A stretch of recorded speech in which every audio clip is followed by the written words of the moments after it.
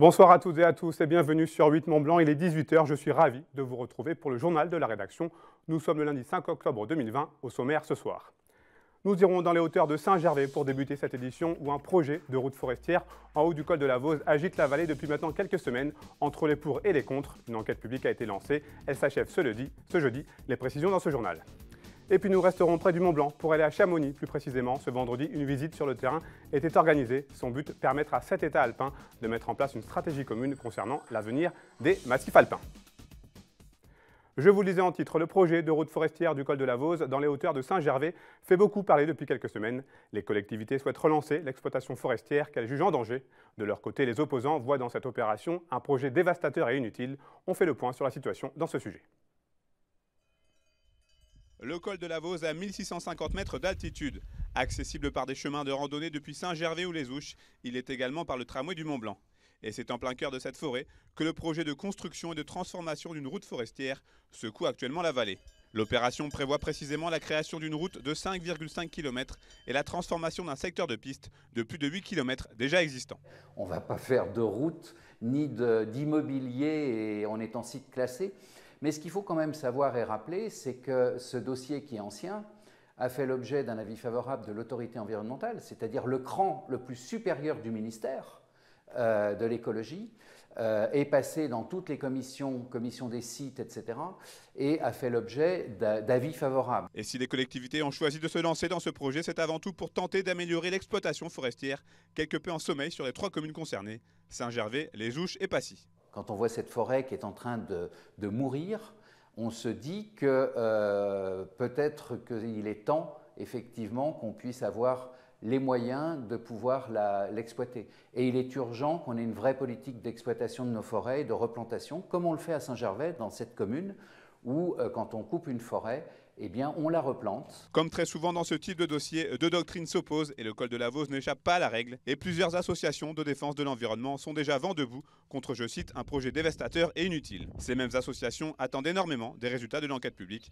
lancée en septembre et qui doit se terminer ce jeudi 8 octobre. J'espère que l'enquête publique va faire ressortir tous ces points euh, négatifs par rapport à, ce projet, va faire aussi ressortir que le bilan euh, économique n'est pas du tout garanti, que c'est de l'argent public qu'on dépense mais on ne sait pas s'il y aura des avantages et des inconvénients pour, euh, euh, l'intérêt général. Et puis euh, qu'on fasse ressortir le manque de cohérence entre l'enquête publique qui vient d'avoir lieu pour protéger le sommet du Mont Blanc et aujourd'hui, juste un, petit peu en dessous, on propose de détruire le site classé du Mont Blanc. Aujourd'hui, force est de constater que les deux parties sont réellement en total désaccord, puisque selon les opposants, des solutions alternatives d'exploitation forestière existent déjà.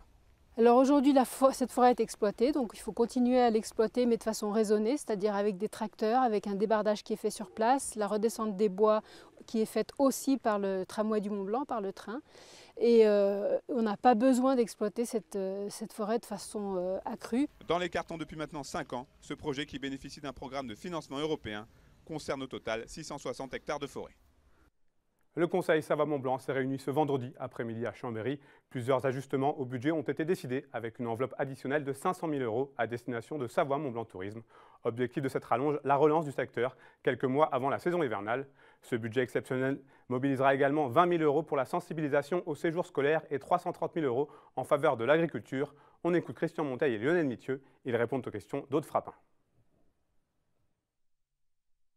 Nous avons dégagé un crédit de plus de 500 000 euros pour que euh, Savoie-Mont-Blanc Tourisme puisse continuer à faire la promotion en France et à l'étranger pour continuer à rendre euh, attractif ce, territoire. On regarde l'agriculture, l'accompagnement des filières agricoles avec une autorisation de programme complémentaire de plus de 700 000 euros pour engager dans le cadre euh, également de, de financement avec la région et l'Europe, dans le cadre du FEADER, des aides sur l'ensemble des filières euh, qui sont structurées, des aides à l'investissement. Donc là, c'est à peu près 250 euh, 000 euros euh, supplémentaires qui ont été mis en, DM, sachant qu'on a, un budget agriculture-forêt qui est plus un peu plus de 9 millions d'euros sur l'exercice 2020.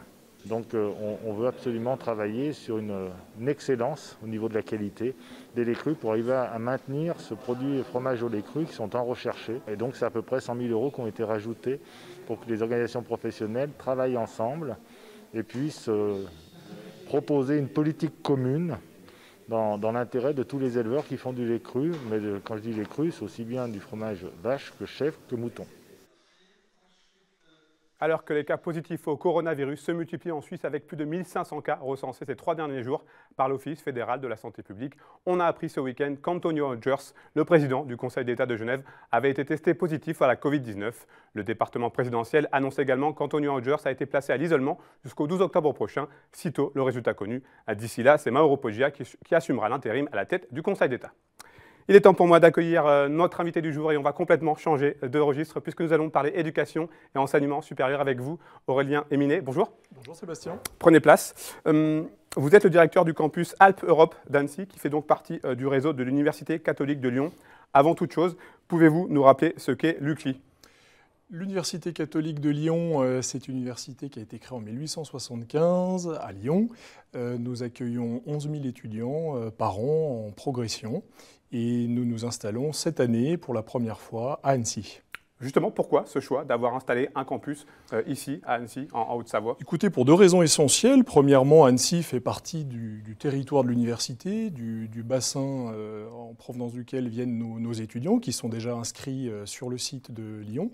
Et puis, deuxième chose, je crois que c'était pour répondre aux besoins des pouvoirs publics de renforcer l'offre de formation supérieure à Annecy qui euh, parfois euh, risque de devenir un petit peu, euh, pour certains en tout cas, la banlieue de Genève. Et il s'agissait de renforcer la présence et puis d'offres de, formation continue sur le territoire. vous êtes donc une université comme les autres, à la différence que vous proposez notamment des diplômes en, théologie catholique ou autre Alors, on est une université privée, hein, tout d'abord. On est une association à but non lucratif. Euh, Ce n'est pas le cas de tous les établissements du supérieur. Euh, nous avons le label ESPIG, c'est-à-dire c'est une délégation de service public hein, qui, euh, qui, nous est reconnue par, par l'État. voilà, on a six départements, donc on a le, un pôle lettres, sciences, théologie, effectivement, philosophie, sciences humaines, euh, économie et management et droit. Et sur le territoire annécien, euh, deux pôles facultaires seront présents, le pôle facultaire des sciences juridiques, du droit, et euh, le pôle facultaire des sciences économiques et gestion, représenté par l'ESDES, l'école de management de l'Université catholique de Lyon. Alors vous avez donc effectué votre rentrée le 28 août dernier, avec combien d'élèves pour cette première rentrée? 66 étudiants répartis sur trois formations, 40 en licence de, de droit, euh, qui est une licence qui est lancée cette année Annecy, avec, euh, conventionnée avec l'Université de Savoie-Mont-Blanc, 15 euh, pour le Bachelor in Business, et qui est un programme qui existe déjà à Lyon, mais que nous déclinons à, à Annecy, et puis une dizaine pour le Bachelor Droit et Management. Comment s'est déroulée cette rentrée 2020, rentrée estampillée Covid-19 oui, alors tout d'abord, je dois dire que c'était quand même un plaisir parce que ça faisait longtemps qu'on travaillait sur ce projet. Donc d'accueillir des étudiants sur ce campus, c'était un plaisir. On ne les avait pas vus depuis longtemps. Je suis moi-même enseignant et euh, la période de confinement euh, a fait que l'université à, Lyon était vide. Donc c'était tout d'abord un, plaisir. Euh, on accueille trois premières années de ces formations. Donc on a fait le choix de les accueillir tous physiquement. Euh, ça nous paraissait important euh, pour les étudiants, pour leur réussite, pour euh, leur enseigner aussi la méthode universitaire, pour faire connaissance, pour créer une identité aussi à ce campus. Donc on a fait le choix, ce qui n'est pas le cas non plus de, tous les établissements, ni d'ailleurs de, toutes les formations. Et puis on avait la possibilité de les accueillir dans de bonnes conditions. Donc ils sont tous présents sur le campus et pour le moment, on continue comme ça. Pas de cas de Covid? Des cas contacts uniquement, mais pas de cas positifs. Donc, euh, on, croise les doigts pour que ça continue. Euh, pour cette toute première entrée, vous avez donc investi les locaux du lycée Saint-Michel euh, avant d'avoir votre propre campus d'ici à la rentrée de 2021. J'imagine que cette rentrée 2021, c'est une étape combien importante? Oui, on l'attend avec impatience. On est déjà euh, très confortablement euh, installé, euh, notamment grâce au travail de, Saint-Michel qui nous, héberge pour cette année. L'année prochaine, on aura des locaux plus conséquents, 3600 m2, un grand amphithéâtre, une grande bibliothèque, un espace de restauration, 24 salles de, de cours. Donc on attend évidemment ce moment avec impatience pour accueillir les futures promotions, celles qui existent, qui vont passer en deuxième année, et puis des nouveaux étudiants. Est-ce qu'il y aura d'autres passerelles euh, avec le lycée Saint-Michel, euh, peut-être de prévues à l'avenir? Non, il n'y a pas de passerelle. Nous, on organise des passerelles plutôt avec les formations à Lyon, puisque les étudiants ont la possibilité, euh, au bout de quelques années, d'aller sur le site lyonnais. Les Lyonnais ont aussi la possibilité, du reste, de rejoindre nos, formations à Annecy. Après, nous, on, est un établissement ouvert à tous les lycées, publics, privés. Je crois d'ailleurs que les étudiants de Saint-Michel ne sont pas du tout la majorité de nos, étudiants sur les, sur les lycées d'Annecy. Quels seront les principaux temps forts pour cette première année universitaire ici à Annecy? On a beaucoup de choses à faire, mais moi j'ai un, temps fort qui me tient euh, particulièrement à cœur, c'est la vie associative, euh, qui pour nos étudiants euh, est très importante, à la fois pour s'amuser, pour créer des projets éducatifs, pour créer une identité, pour faire des liens avec plein d'acteurs sur le territoire, que ce soit sur euh, la solidarité des associations, euh, des compétitions euh, sportives avec Saint-Michel ou avec d'autres. Donc je tiens beaucoup à ce qu'on engage la création de ces associations. C'est déjà d'ailleurs en cours. Les étudiants nous ont déjà exprimé un certain nombre d'idées qu'il s'agit maintenant de concrétiser tout au long de cette année. Donc on va les accompagner pour ça. Mais ça fait partie, je crois, des, sujets, en tout cas moi, qui me tiennent beaucoup à cœur. On aura d'autres choses. Hein. Nos étudiants vont avoir des stages. Pour certains, la moitié de l'effectif à peu près, d'ailleurs, va démarrer des stages dès décembre.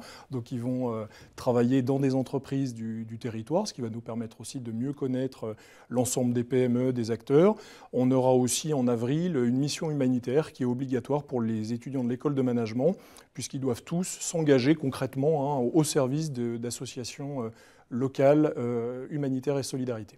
Une dernière chose avant de se quitter, l'antenne anécienne de l'UCLI est née un petit peu dans la douleur, hein, puisque, on le rappelle, certains se sont étonnés euh, que votre établissement ait pu bénéficier d'un financement public. Qu'est-ce que vous avez à leur répondre? Alors jusque-là, on n'a pas répondu grand-chose, comme vous l'avez peut-être euh, remarqué. On est indirectement concerné, on ne touche pas ces subventions, nous, directement. Hein. On va être dans des locaux, et c'est pour ces locaux que les financements ont été prévus. Moi, je trouve plutôt qu'on est bien accueilli par le territoire. On répond déjà à une demande. Vous avez vu qu'il y a 15 jours, la subvention a été euh, votée. Je crois qu'il y avait une personne qui était contre. Mais non, on se sent plutôt euh, bien accueilli. Après, euh, ces débats de société me paraissent normaux, légitimes. Nous, vous savez, on est une université, il y a plein de débats scientifiques, sociaux, y compris qu'on accueille chez nous. Donc tout ça me paraît normal. Je pense peut-être qu'il faut qu'on se fasse davantage connaître et puis qu'on explique davantage notre projet. Merci beaucoup. Merci à vous. Aurélien Minet. Merci. Merci bien. Un mot de social à présent. À Chambéry, une partie des salariés de Keolis qui exploitent Synchro, le réseau de transport en commun, a déposé un préavis de grève pour les journées de lundi 5 et mardi 6 octobre, où seulement 15% des services seront assurés. Les salariés grévistes se disent inquiets quant à la dégradation de leurs conditions de travail et réclament le maintien de leur salaire. Grand Chambéry a réagi ce lundi par le biais d'un communiqué en souhaitant que le dialogue social soit rétabli le plus rapidement possible dans l'intérêt des usagers. Une centaine de personnes s'étaient réunies ce samedi matin devant l'aéroport d'Annecy avec un objectif commun à dénoncer les nuisances de l'infrastructure. Plusieurs associations ainsi qu'Antoine Grange et Claire Lepan du collectif citoyen Les Annéciens étaient également sur place. Les manifestants en ont profité pour montrer leur opposition à la volonté de Christian Monteil de resigner pour 15 ans au lieu de 8 actuellement la concession qui unit le département à EDIS, le gestionnaire. Le bail actuel, lui, se termine fin décembre 2020. 16% de la population de l'Union européenne vit dans les Alpes. Cinq États membres, l'Allemagne, l'Autriche, l'Italie, la Slovénie et la France, se partagent cette région avec la Suisse et le Liechtenstein. Depuis cinq ans, ces pays travaillent une stratégie commune pour l'avenir de ces massifs alpins, alors que le dérèglement climatique y est particulièrement perceptible. Une visite sur le terrain était organisée à Chamonix il y a quelques jours. Reportage de Fanette de Buisson. Naturellement, on perd 0,6 euh, degrés tous les 100 mètres. Et donc ça, c'est un voyage en fait dans l'espace, c'est un voyage climatique. On estime que partir de Martigny, qui est le, point le plus bas, on va dire, du massif du Mont Blanc, jusqu'au sommet du Mont Blanc, c'est comme parcourir le gradient climatique de la Méditerranée jusqu'au pôle Nord. Sauf que nous, on le fait en 7 minutes en, télécabine. Donc pour nous, c'est en tant que chercheur, c'est génial. Un voyage climatique auquel cette délégation a goûté le temps d'une matinée à 2300 mètres d'altitude. Au plan de l'aiguille, le petit groupe de scientifiques et d'élus se penche sur l'impact du changement climatique, là où il est le plus perceptible. Ce matin-là, la secrétaire d'État à la biodiversité participe à la visite sur le terrain. On peut euh, lire toutes les, toutes les notes, tous les dossiers, tous les rapports euh, que l'on veut. Euh, ça ne remplace à aucun moment le, contact. Le contact avec la nature, être face aux éléments, face aux transitions euh, qui, ont cours actuellement, à la rapidité de, on, le, voit ici sur la fonte des, neiges, des glaciers, euh, sur la, perte de biodiversité, sur l'impact de la surfréquentation sur ces sites touristiques. Nous, en tant que scientifiques, on ne pose pas de, solution, mais plutôt euh, on essaye d'éclairer la, décision de, chacun. et on travaille par exemple avec la communauté de communes de la vallée de Chamonix sur le, le projet Adapt Mont Blanc. Donc essayer de, d'établir des scénarios d'évolution de ce massif avec le changement climatique et apporter de la matière pour ensuite ben, pouvoir fonder des, des politiques d'urbanisation, de gestion touristique, etc. Des problématiques communes aux sept pays européens qui se partagent les Alpes. Pour coordonner réflexion et prise de décision, la stratégie de l'Union européenne pour la région alpine a été créée en 2015. Elle est présidée pour deux ans par la France. Tous ces pays, en effet, euh, partagent des objectifs communs pour avoir finalement un développement qui soit durable euh, des territoires alpins et euh, pour pouvoir continuer à vivre dans, nos montagnes, puisque parfois certains, certains, risques, certains phénomènes ou certaines évolutions euh, socio-économiques euh, peuvent conduire à, déserter certaines vallées. Donc il y a un enjeu aussi de, maintien de la population dans ces vallées, de, renouvellement. Le territoire du massif euro-alpin est vraiment un laboratoire d'innovation qui sert ensuite aux autres euh, politiques sur l'ensemble de, l'Europe. Forêt, risques naturels, pastoralisme, village connecté, les thèmes abordés dans le cadre de cette stratégie commune sont vastes. Les enjeux de taille, 80 millions d'habitants vivent sur cette région alpine européenne.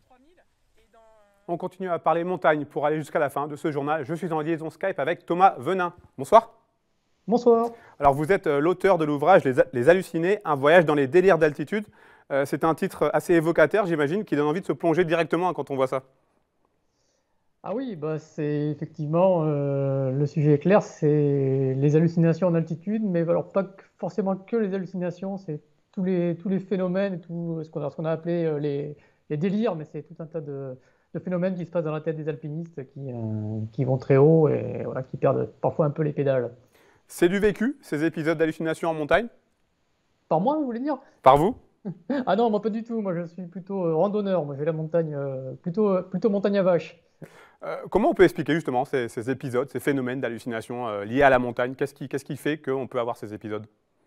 Alors euh, c'est compliqué, il y a eu quelques études scientifiques sur le sujet, mais ce qui est très compliqué, bah, c'est que ça se passe à des moments où bah, on n'est pas dans un laboratoire, on est, on est en très haute altitude, donc il n'y a, a pas de témoins, on se base seulement sur le récit des alpinistes qui, euh, qui sur le moment ne sont pas forcément disposés à, faire des études scientifiques. Euh, mais comment on peut l'expliquer? Ben, Il y, a plein de raisons. Euh, curieusement, ce n'est pas forcément le manque d'oxygène qui fait ça, même si ça se produit souvent très très haut. c'est plutôt la fatigue en fait qui est, responsable de tout ça. C'est quand le cerveau en fait arrive à, une espèce de rupture.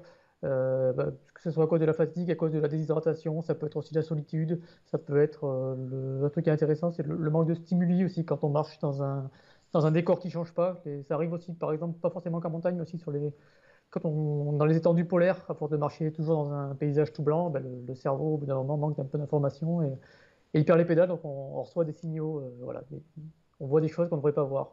Est-ce qu'il y a des hallucinations récurrentes, des choses qui reviennent plus souvent? Oui, bien sûr, c'est ça qui est assez troublant. Euh, alors les hallucinations visuelles, finalement, c'est pas le gros des témoignages. Ce qui revient très souvent, c'est la sensation d'une présence, c'est ce qu'on appelle le phénomène du troisième homme. C'est l'impression d'être suivi, c'est-à-dire quelqu'un qui est vraiment très très fatigué, qui, euh, qui, déambule dans la montagne depuis très longtemps, qui est, tout seul, qui, il va au bout d'un moment sentir une, une, sensation de présence dans son dos. Et ce qui est troublant, c'est que tous les témoignages sont concordants pour dire que c'est plutôt euh, quelque chose de rassurant. On sent une présence qui vraiment qui est comme une aide. Et euh, voilà, l'autre chose qui revient aussi très souvent, c'est les, voix. Et là, encore une fois, c'est assez, euh, troublant parce que c'est tous les témoignages concordent. C'est beaucoup des. Plus, que des voix qu'on entend, c'est une espèce de brouhaha. Beaucoup de voix qui s'entremêlent. On, reconnaît quelques bribes de voix, mais euh, voilà, c'est plein, plein de voix qui s'entremêlent. Il y a vraiment beaucoup d'alpinistes qui ont raconté avoir cette, même sensation. C'est assez, troublant. Vous, l'avez dit, vous écrivez sur la montagne, mais vous ne la pratiquez pas beaucoup. c'est quoi? C'est la peur justement de partir dans ces épisodes hallucinogènes? Euh, ouais, bah, je suis pas un aventurier, j'ai un peu le vertige, euh, puis j'habite à Bordeaux en plus, donc c'est pas, pas forcément pratique pour la montagne, mais effectivement, je suis pas d'une famille de montagnards, donc j'ai pas eu beaucoup l'occasion de pratiquer quand j'étais jeune, et puis je suis pas, pas vraiment un aventurier, donc voilà, c'est plutôt la montagne à vache, la randonnée, et quand je lis tout ce qu'il y a dans les livres, ça me donne pas forcément envie, mais en tout cas, ça me, ça me fascine. Merci beaucoup, Thomas Venin. Je rappelle le nom de votre dernier livre, Les Hallucinés, un voyage dans les délires d'altitude. Merci à vous. Merci, au revoir. C'est la fin de cette édition. Merci à vous pour votre fidélité à l'information sur 8 Mont Blanc. Tout de suite, vous avez rendez-vous avec Emmanuel Jaude pour le premier numéro de Panorama consacré cette semaine au Congrès des domaines skiables de France. Je vous retrouve mardi pour un nouveau journal. Passez une très belle soirée sur nos antennes.